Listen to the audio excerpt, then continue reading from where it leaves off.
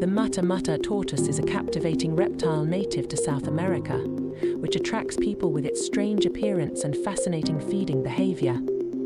Its shell is adorned with intricate patterns resembling fallen leaves, providing excellent camouflage in its marshy habitat.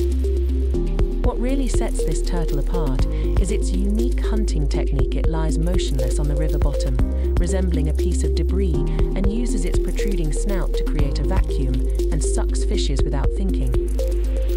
Watching this mysterious creature in action provides a glimpse of the extraordinary adaptations of one of nature's aquatic